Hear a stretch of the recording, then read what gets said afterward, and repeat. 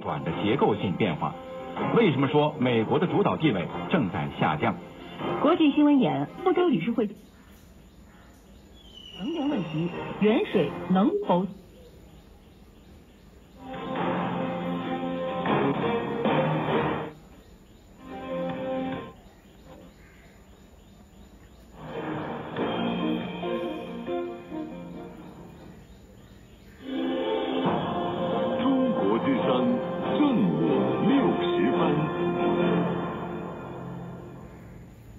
正午六十分，近看国际风云，来关注俄乌局势的最新进展。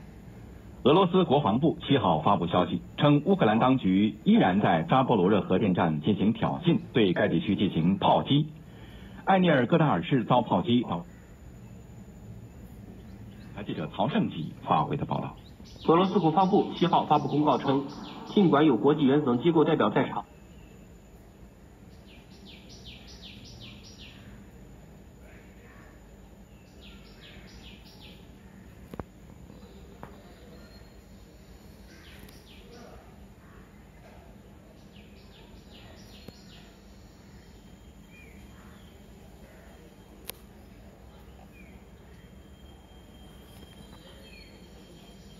一边